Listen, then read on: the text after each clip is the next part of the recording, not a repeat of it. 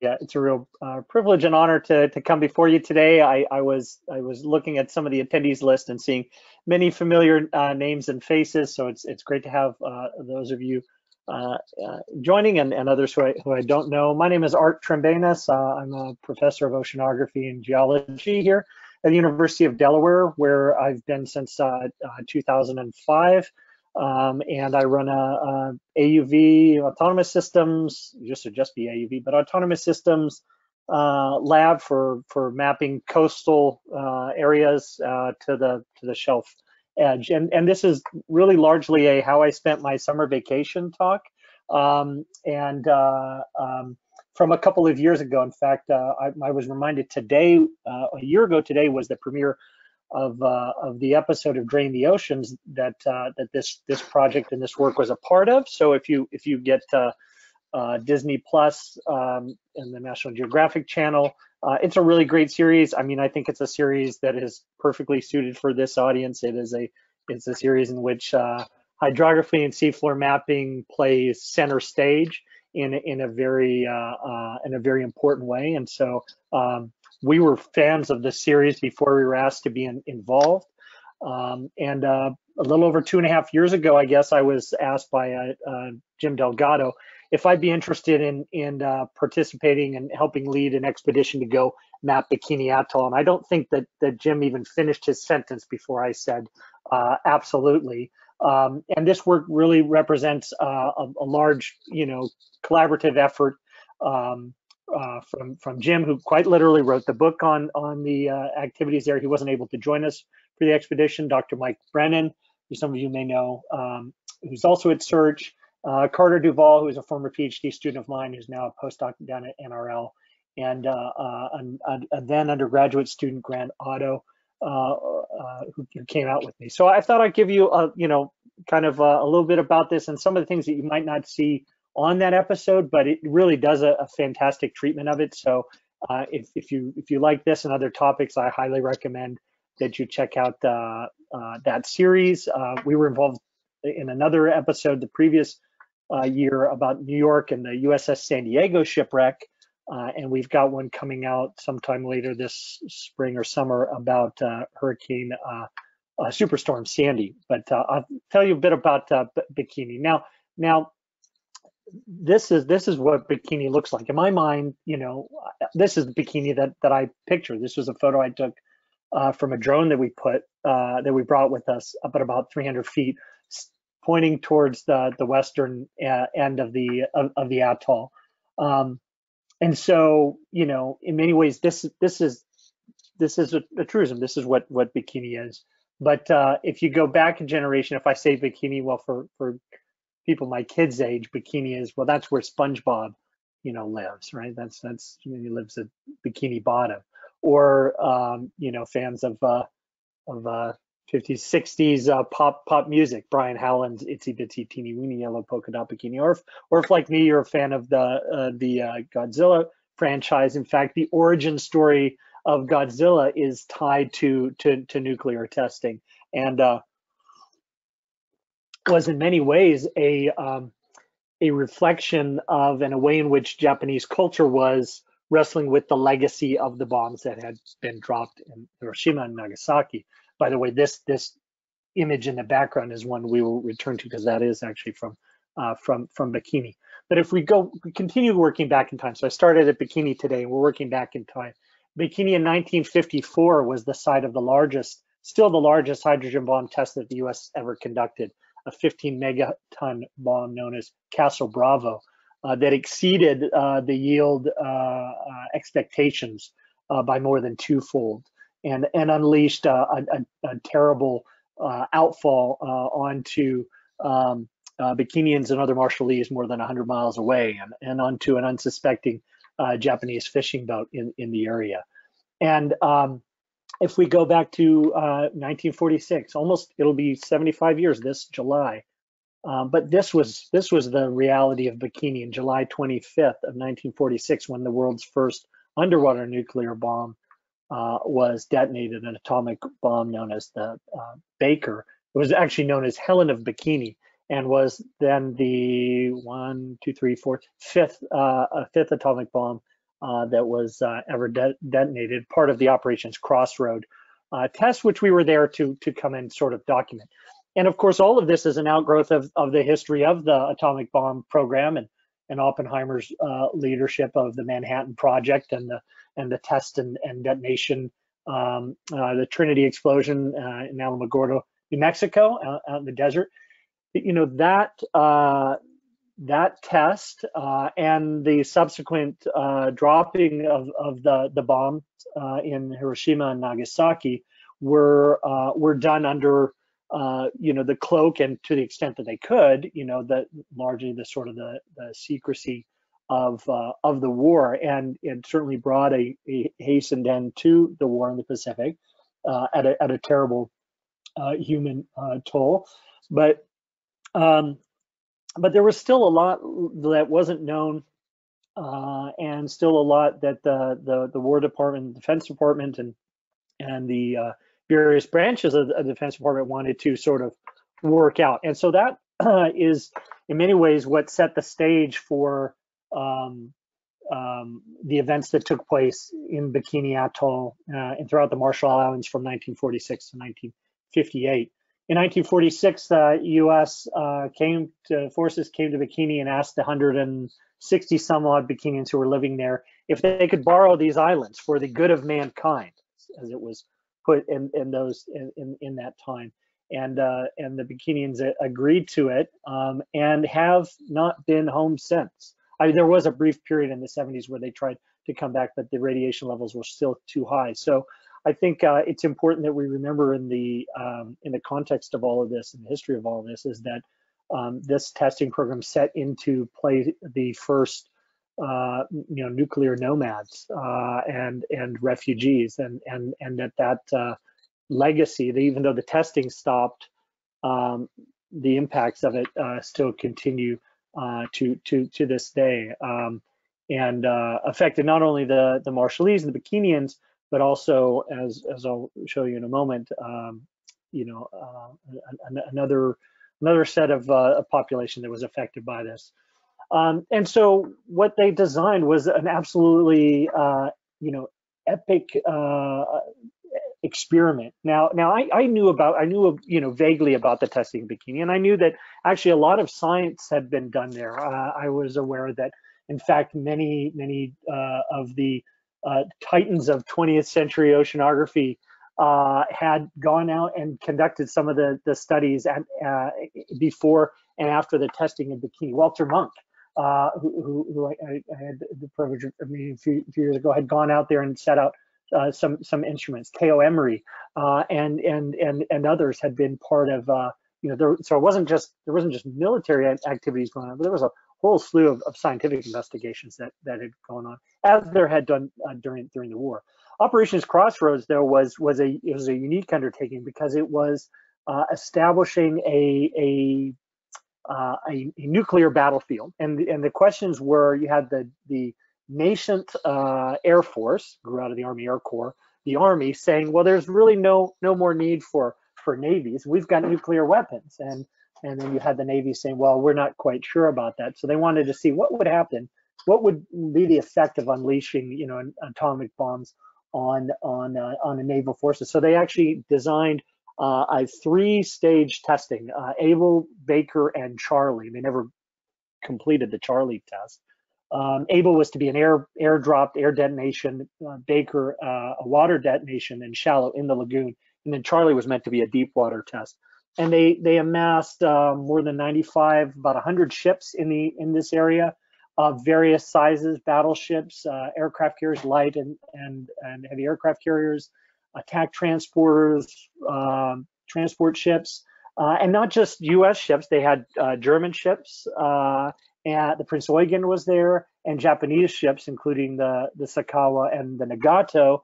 The Nagato was very symbolically brought out since it was Yamamoto's uh, um, command ship for carrying out the attack on Pearl Harbor. So it was it was very much a you know going to put a final period and coda to the end of, uh, of, of, of the war.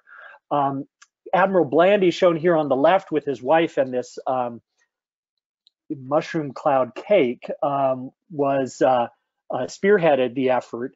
and again, you know, I think I think in in many ways, from a logistic standpoint, from from the scale of the investigation and the the the um, testing that went on, it is it's it's it's very truly impressive. I mean, all the number of ships, all the arrays, the instrumentation that was brought out, fully 50%. And the, and the, the documentary, this was a, a, a, point we knew going into this, but the documentary brings it up. Uh, fully 50% of all the film that was available on planet Earth in 1946 was brought to Bikini to document what was going on here. High-speed film, aerial footage, cameras on the ground, mounted on on you know uh, on, on different structures, you know instruments placed on the ships to measure temperatures and pressures. It was really quite an impressive uh, undertaking. Um, and at a time when I think it's pretty safe to say, and this this picture on the left captures it, there was a an early days sort of love affair with the bomb, you know, in ways that in hindsight uh, uh, seem, you know, a little bit uh, more than a little bit gauche, you know, just seem seem a little, uh, you know, they didn't quite read the read, read the room, but uh, but it wasn't uh, it wasn't taken lightly in terms of how it was how it was carried out, I, I would say, and it was done because it was meant to be this sort of cake cutting ceremony. It was meant to be a a the the you know, the, the ball, the, the coming out party for the bomb. Whereas the other testing had been done in secrecy. This was done with the world's eyes and attention on stage. They wanted to document it. They wanted to show the power might of it. And uh, they brought uh, a number of different ships. They also brought uh, animals out, pigs, goats, uh, uh, rodents, others to see what would happen when exposed uh, to the bombs. One pig actually famously got thrown overboard, survived the bombing, was brought back to to DC, and I think I think you know lived out its days at the at, at the zoo there for, for many years. Um, I can't remember the name of that, that pig, but but um, the other group that was was very much impacted by this were the were the sailors and the, and the military personnel, mostly men, but there were also some women nurses and, and, others that, that were there who were brought out to the Marshall Islands, brought out to Bikini to help prep uh, the, the the site, prep the instrumentation, prep the ships, and then uh, also many of them were, were, were asked to, to go out afterwards when they thought, well, they'll just be able to wash off these ships and clean them, scrub them down, and, and then be able to reuse them or turn them into, into scrap.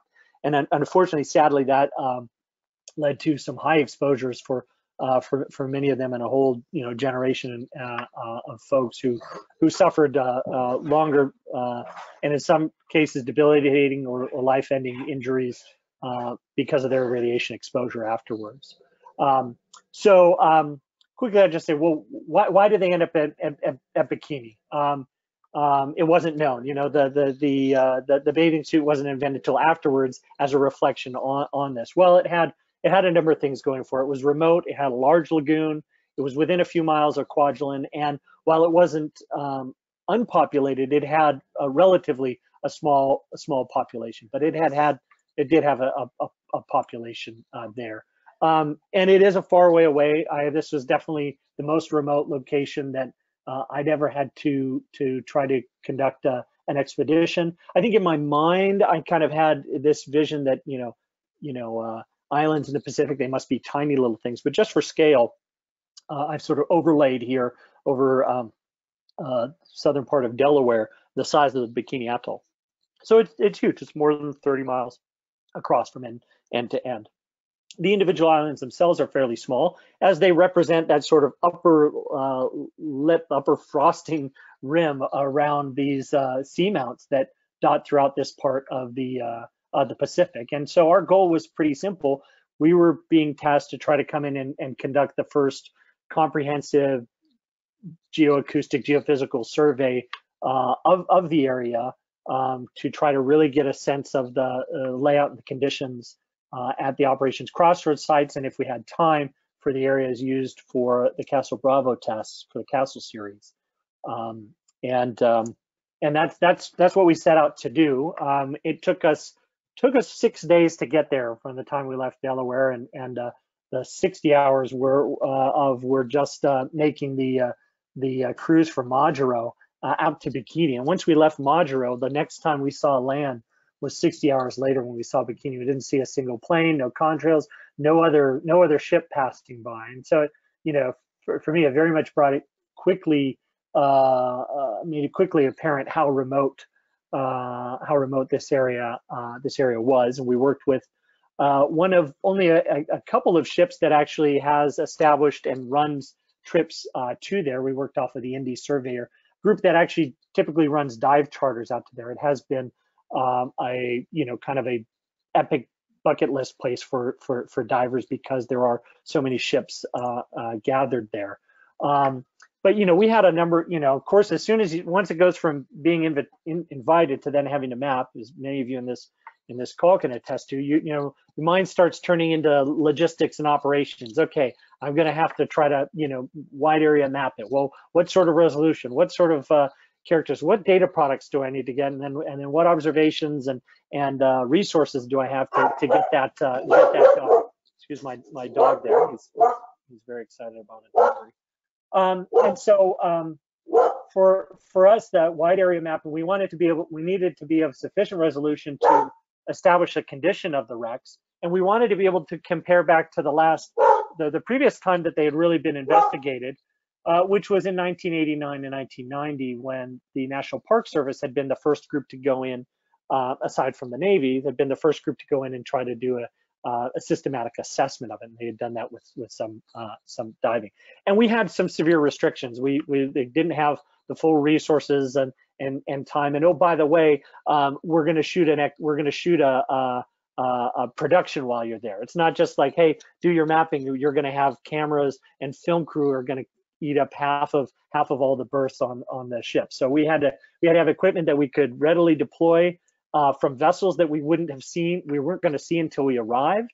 Um, and uh, everything needed to be able to quickly air pallet and ship to get to Majuro and then load on a plane. Now, of course, in, in my group, we're, we're, we're, we're privileged to have a whole variety of different resources, uh, autonomous and and and uh, and and and not, but on the air, on the surface, and and underwater. And so, in my mind, if I had my druthers, of course, I'd bring a whole SWAT team of, of friends and colleagues and students and and all of the all of the gear and, and toys and gear that that we have in our arsenal. But that wasn't uh, to to be. So so instead we were we were we were limited operationally. We needed something with small form factors and and uh, um, you know so couldn't bring a big AUV or a big ROV, and so um, we brought um, instead uh, everything we could pack into a, a little air freight uh, D container, and that included a um, uh, those those items that, that that you see here. Knowing also that there was no local tide station, there was no local CORS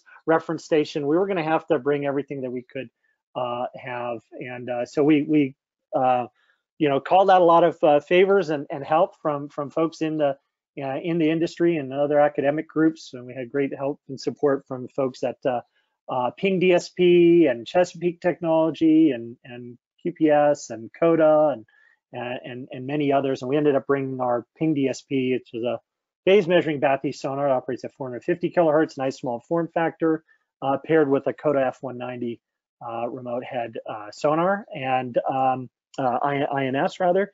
And, and, and this is all we had to go. We had a picture of an 18 foot aluminum tender and uh, we had seven images and, and uh, Grant, who's an engineer, had to try to come up with, you know, mounts after some sort of you know quick drawings. We needed to kind of come up with something that we could that we could do to to mount this uh, system. So it was uh, and an exposed, generally pretty exposed boat.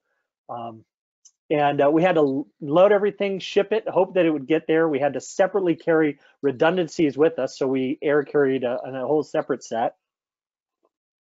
Luckily, everything arrived. We we staged everything, tested it out in Majuro, and then had to tear everything apart again for the transit.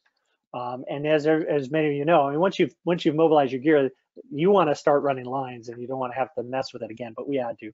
We had to get out there. Of course, there was no tide station, so we used our aqueduct and we dove down to the top of uh, the Saratoga, USS Saratoga, and set that to record, you know, pressure uh, over the period, so that we could at least uh, reference things to uh, uh, to a, a mean sea level uh, while we were while we were there. We weren't trying to establish hydrographic charts per se. We just wanted to get an internally consistent, high resolution uh, map of the site. And and we all, oh, by the way, we only had eight days on station to be able to do do all of this to map an area about one and a half times the size of Central Park. Uh, this is the resulting uh, map area of it. Uh, I actually have a have a 3D uh, print of it here that that I that I that I've made and, and brought brought out. There's about 20 million sounding points in in here. This is gridded at a, a, I believe a one meter grid on this. Um, and um, it's uh, there's a lot going on here. Um, there are 12 ships uh, in this in this scene right here, uh, 12 that, that are still on the seabed of the 95 or so that were there for the testing of a, a whole variety of different types. There's two submarines in here. There's the uh, aircraft carrier. There's battleships, uh, attack transporters. Um, you know, just uh, just you know, all in that you know one little area. So it, it is in many ways kind of like this underwater Disneyland for for for ships, and they're smack dab in the middle, and it doesn't take much uh, to, to, to recognize is in fact the remains of the Baker crater, and that first and foremost was one of the one of the uh, amazing uh, discoveries that we had that it was still there. I mean, it speaks to the fact that it's still a very benign, a generally pretty benign uh, uh, seabed uh, in in the lagoon. That's pretty calm and protected. But here at that time, 73, this year it'll be 75 years later, the, the physical remains of that crater still exist. There's very little new sediment that's produced here. And at these depths, uh, ambient seabed outside is about 50 meters deep.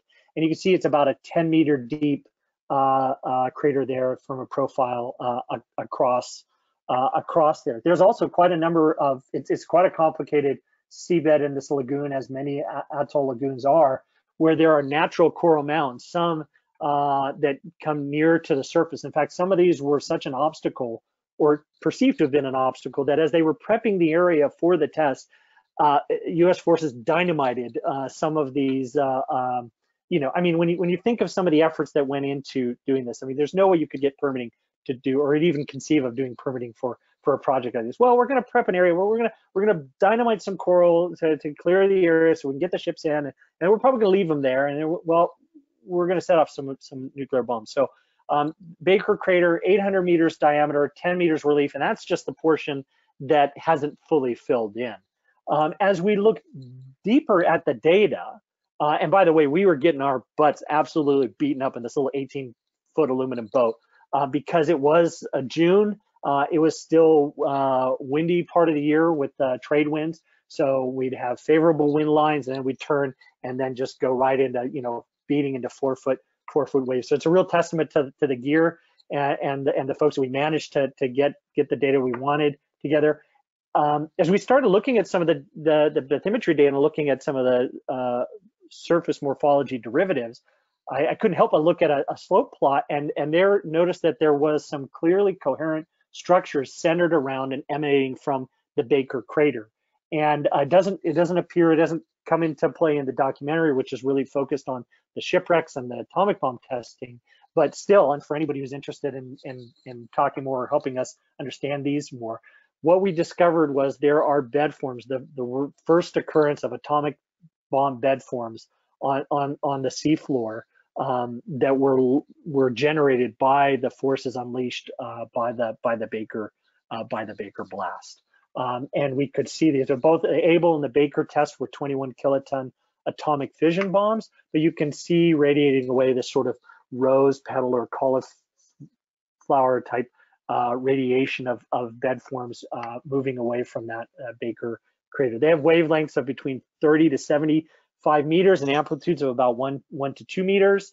Unfortunately, we saw these, you know, uh, as a geomorphologist, my I started drooling and I would have loved to have spent the rest of the expedition just exploring this. Of course, we didn't have our sub bottom with us. We didn't have any coring gear and, and we had to sort of, you know, uh, focus on the other stuff we were doing. Here's a profile right next to the USS Pilotfish, uh, which is a Balao class uh, submarine. If you want to see a, a, a, submarine like the Pilotfish, go to uh, Pearl Harbor, you can visit uh, one of the sister ships uh, uh, there. That's lying on the seabed. It was in the middle of the water column. It was suspended in the middle of the water column. When the blast went off, the Pilotfish got squeezed by the the, the pressure, uh, heat and the pressure, and and and and sunk. And here you can see these sort of climbing bed forms that radiate away from from the center of the of the crater. They're in some ways not unlike volcanic bed forms uh, or analogous to some turbidity flow bed forms, although in both of those cases, those would be bed forms flowing downhill, uh, whereas some of this may have been generated on the upflow or the return flow part. It's not, it's not entirely clear. Okay, so I want to mention some of the ships here because, of course, this is a this is a graveyard of, of some some pretty interesting shipwrecks, including uh, the USS Gilliam, which was has the distinction of being the first ship sunk by an atomic weapon, and, and it was done in by the Able blast. Uh, un, unanticipatedly, uh, it was not meant to be the ground zero target. Rather, the ground zero target for the Able test was meant to be this ship uh, that I'm holding in my hands, the USS Nevada, which was painted bright orange, the color of the Golden Gate Bridge for the test. Unfortunately, as is the case with dropping a, a fairly bulky, uh, not terrifically aerodynamic bomb from uh, from up in the air, uh, as the as the uh, uh, Able bomb um, uh, dropped, it um, it fell off target and detonated right over the the Gilliam, which is an attack transporter, and and and and immediately you know vaporized and and and and plunged it to to the to the seabed.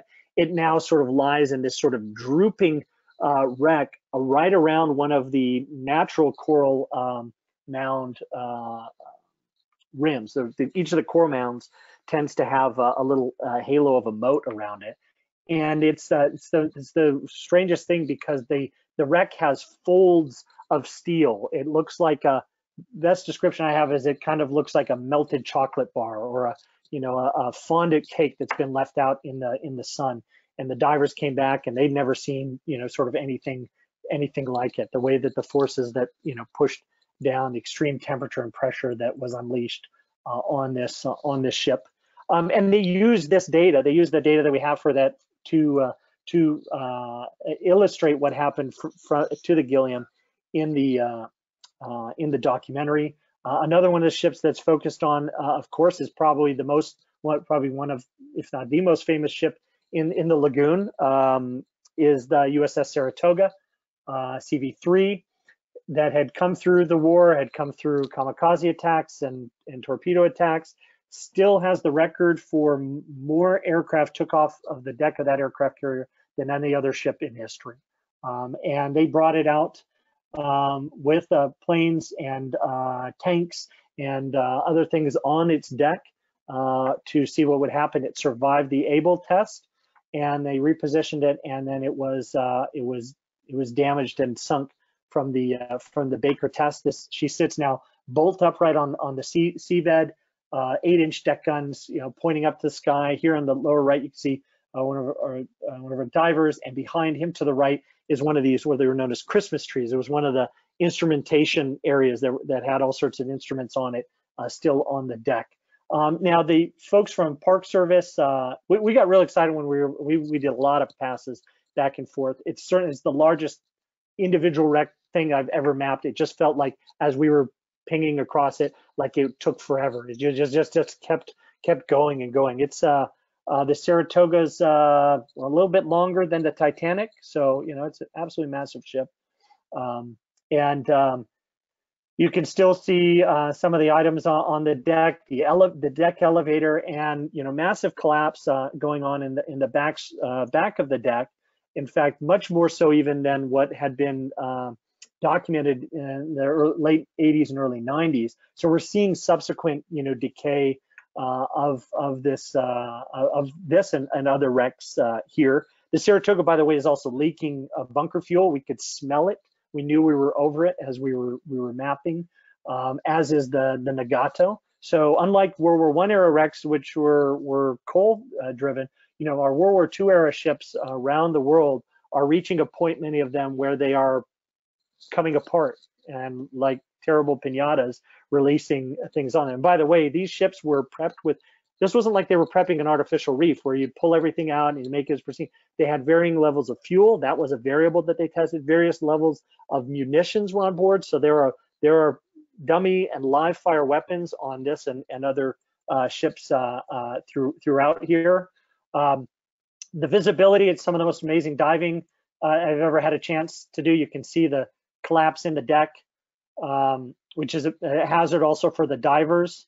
Um, and uh, I want to show you another one. I mentioned the pilot fish. Um, the divers were able to, we, we would do our wide area surveys Uh, the Sakawa, which we which we found, hadn't been found by the National Park Service. The Sakawa is an interesting one in that it was sunk by the Able test and then further pummeled by Baker. It's within the outer portion of the, the Baker crater. Uh, Pilotfish is, is is right in there as well. And as I mentioned, it was sort of it was sort of shrunk, shrunk wrapped. Um, if you look at uh, if you go to Pearl and you visit the USS Bowfin, you can see the 18 inch torpedo tubes and notice there on the lower left the the separation between those on the lower right, as we were out at Bikini, we were reviewing some diver footage. I asked one of the divers, "What are we looking at?" He said, "Oh, I took a photo of the, the the torpedo tubes, and here you can see the two torpedo tubes are actually butt up against each other, kissing. So that that tells you about the you know the the level of of crushing you know power that that went on um, from from the uh, force of the uh, the bomb. So those are just a few of the, the highlights from, from the operations crossroads area. We managed to finish that area and we were, we were really eager to try to get to the western end of the island where this bomb was released in, in uh, February of 1954, uh, the Castle Bravo, a hydrogen bomb, and again, the largest one that we ever uh, detonated. It actually um, wiped out three islands uh, from the from the map. So so talk about terraforming and and really rewriting you know the, the the the charts and you can see that today if you zoom in from satellite view you know we kind of knew something strange was going on on the western of the island and if you look at a few other little spots you can see little cookie cutter areas around the atoll there were 23 uh, nuclear bombs detonated in Bikini between 1946 and 1958 um, you know the the two mentioned just previously were these ones here uh, in the eastern part of the, the the lagoon where Able and Baker were tested and then they came back in 1954. In the intervening years, by the way, they had gone to uh, Eniwetok and had done testing over there. Again, part of the other testing that went on in the Pacific, for which there are you know continued legacies uh, from that. So we only had a day. We had basically half a day to try to map the the Castle Bravos uh, area. So we knew we weren't going to be able to fully map. We didn't. We needed basically two days to, to map the whole thing. So so we had to stretch out our lines why there's some little jagged artifacts here in the uh, in the gridding. Um, that left a crater of more than 1600 or more than 1400 meters in diameter with a max depth of 56 meters. And as soon as we were actually, as we were out there mapping, it became very clear that it wasn't just one one uh, crater, but two. Uh, and some of these were reused. Uh, the large crater on the on the right, the eastern portion, was from Castle Bravo, a 15 megaton. Okay, so fully fully a thousand times more powerful, approximately, than the ones that were unleashed uh, in 46 and in 45. And um, then the Castle Romeo, which was a nine megaton hydrogen uh, bomb. And uh, as we were mowing the lawn, going back and forth, I remember at one point sort of nudging the the rest of the team and and pointing up to the sky and saying realizing that we were we were at that very moment in the middle of what had been that that that mushroom cloud. Um, we did send some divers down and they were actually able to get some some some samples for us. And they said it, it just sort of looked like this lunar surface. It was just this powdery carbonate milky you know seabed because everything was just sort of uh, vaporized. And of course a lot of it was thrown up into the atmosphere. And uh, some of the Bikinians who had left the island were living in nearby, 180 to 100 miles away, experienced in that day in 1954 two sunrises, one in the east, and then later that morning, around 10, 11 in the morning, a sun that rose in the west. That was the Castle Bravo uh, explosion. And then about an hour later, it started snowing, and you had uh, Bikinians running out, kids not knowing, thinking it was snow, you know, putting some of this in their in their mouth and getting exposed uh, terribly to the uh, to the radiation for. Just for scale, and this is, by the way, how the Defense Department sort of, you know, used to sort of, uh, you know, provide this for the folks back home. There's the Pentagon, and then I've overlaid uh, the Castle Bravo crater over over the Pentagon area, and then also outlined the, the diameter of the Baker crater. So for the for the for Mid Atlantic uh, chapter, this you know you can get a sense of sort of the scale uh, in, involved in these. So um, I know there's a lot more we could we could say and talk about uh, this. Um, I think for us, the takeaway was there are still lasting legacies from the 23 atomic bombs that were tested in Bikini Atoll. Um, we I guess to call it first comprehensive, there's still a lot more of the mapping that we would have loved to have been able to do. We're hoping to try to get back there and the next time bring AUVs, ROVs, sub-bottom profiles and other stuff because there's still a lot more to uh, to, to learn and know about what what's happened there and and and a lot more to trill, still try to manage because like I said, we have several of these wrecks are continuing to uh, um, release uh, uh, you know hydrogen Uh, uh, hydrocarbon fuel in, into the into the environment. Um, and uh, that still, you know, 73 now, 75 years later, there's still a heavy toll that has been ex exacted on the environment and uh, and on the humans who live now in the shadow of of that testing. And I'll, I'll leave it right there. Well, absolutely fascinating Art and start to finish. That was a, that was excellent. And um, yeah, it had me riveted. Um, so I, I, put it out there if anybody has some questions, uh, want to uh, chat with Art and find out if there's, you know, if you, if you want to write your questions, that's fine. I, or uh, you can come on screen and do it that way too. I, I know I have a, a question, which um, what was the current radiation exposure in that hmm. area? Did you have to be aware of that while you were, I mean, your divers are down there and you've got, uh, you're handling equipment in the water? Yeah. Sure. I mean, that was that was certainly a you know a, a big concern um, from from our team. From you know, as soon as any family members or stuff heard, oh, you're going to Bikini, you know what what's what's going to be going on. It was a major concern uh, from the production company, from from all the members of, the team, and so we spent a, a fair bit of time, you know, uh, discussing that. You know, there there um, um, there has been uh, a lot of dive activity there over the last decade or, or two, in fact. Um, so so active dive charters, if you know, if you every year uh, go in there, the conditions in the water are, are actually um, quite fine. There are still high levels in the soil on the ground. Actually, the radiation levels on the surface we're fine as well. We all carry dosimeters with us um, as a requirement for the production company and from the university. When the dosimeters came back and they analyzed those, they said um, we would have had more exposure to radiation walking around Midtown Manhattan than we did uh, there in Bikini.